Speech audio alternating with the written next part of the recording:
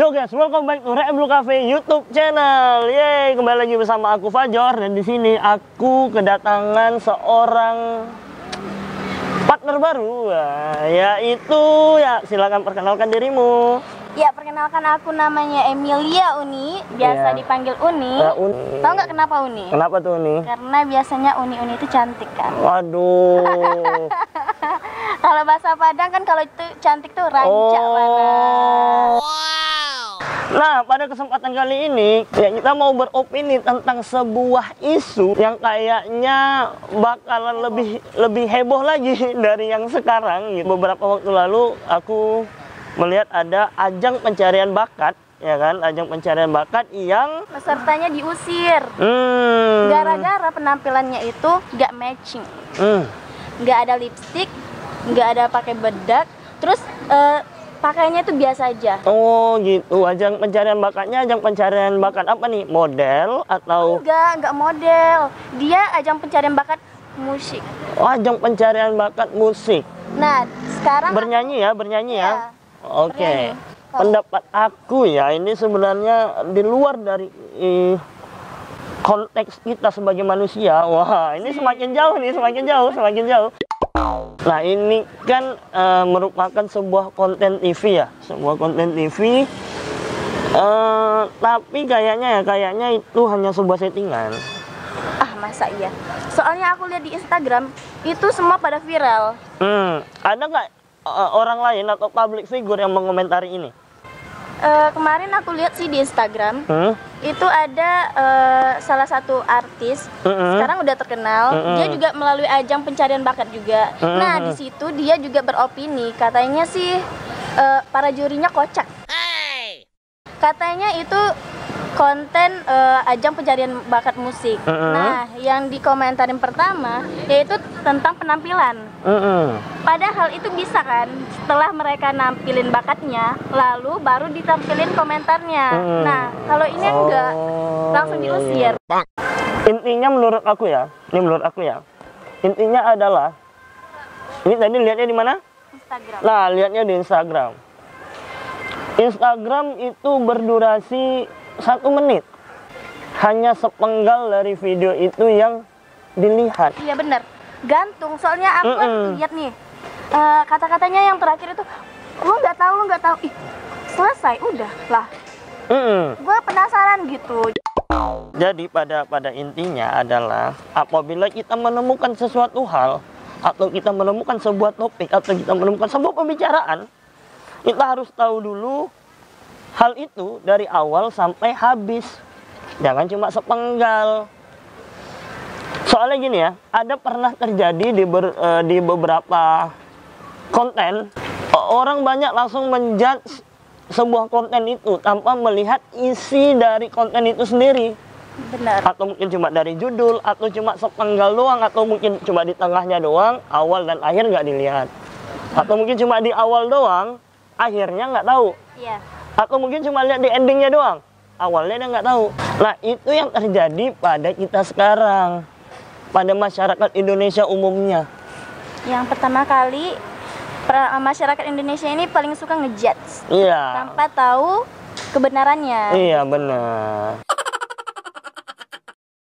Kita udah lihat. Dan video fullnya, yang full, yang dari awal sampai habis. Nah di situ kan di awal memang dia ngejudge. Nah, sampai di pertengahan kan ada tadi yang dia bilang, Iya. "Eh, lu nggak tahu apa apa, bla bla bla bla bla bla. Akhirnya dia di make over langsung sama tim tim pencarian bakat itu, Iya. gitu. Jadi pas dia balik lagi dan kemudian nyanyi, udah dia nggak ada komentarin apa apa tentang yang di awal.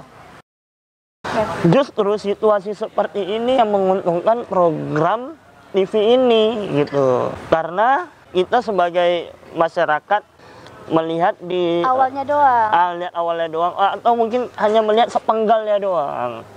Nah, apabila memang eh, ingin melihat sesuatu hal, tolong lihatlah sesuatu halnya itu dari berbagai macam sisi. Atau mungkin lihat dari satu sisi, tapi lihat yang benar-benar full dari awal sampai habis. Menurut aku sih ini nggak settingan deh. Soalnya gini, terlihat alami gitu. Jadi para masyarakat eh, warganet warganet haters haters lainnya pun gatal tangannya untuk mengkritik. Nah, Hmm. kebetulan lagi trending topik, acaranya langsung naik viral Hmm. gitu. Jadi dari berbagai sisi juga nih kita lihat ya. Iya. Dari soalnya terlihat natural kan. Mm-mm, alami banget. Mm-mm. Kita jadi agak ragu apakah yang ini memang betulan settingan atau memang sengaja ditampilkan hal yang seperti ini atau pengalihan isu. Wah. Ya menurut aku kan settingan nih. Mm. Menurut Uni nggak settingan ini nggak settingan serius Hmm. kayaknya alami banget gitu viral viewernya dapat dapat orang kan berbeda-beda. Nah, nah coba kita tanya sama mereka, sama teman-teman semua. Ini settingan atau tidak? Nah, tolong tulis di kolom komentar. Eh, jadi kita bisa sama-sama saling sharing, sama-sama saling berbagi opini, saling berbagi informasi, ya kan? Nah, pada intinya settingan ataupun tidak settingan, program TV tersebut naik melambung jauh. Wah, kayak lagunya siapa? apaan lagunya Anggun, Anggun, melambung jauh. nggak melambung Ya. jauhnya tuh kayak perasaan aku lagi jatuh cinta Aduh.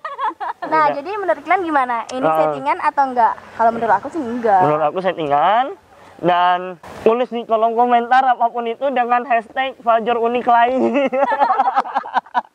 ya, sekian dulu video dari kita.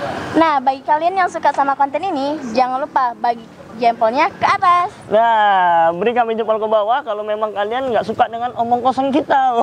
Nah jangan lupa nih kalau bagi opini komentar di bawah sini Iya, ya bener banget. So, akhir kata dari aku Fajar Foria.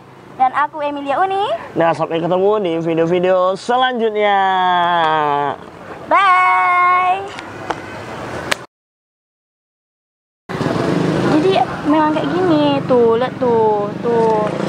Enggak kan cuma sepenggal ini. Ini siapa lagi nih? Oh, ini bener nih, nih. Iya. Hmm.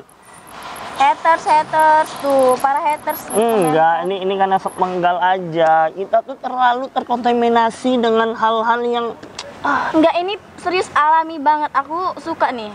enggak ini settingan. Enggak alami. Settingan. Alami. Yalah. Udah lapar nih.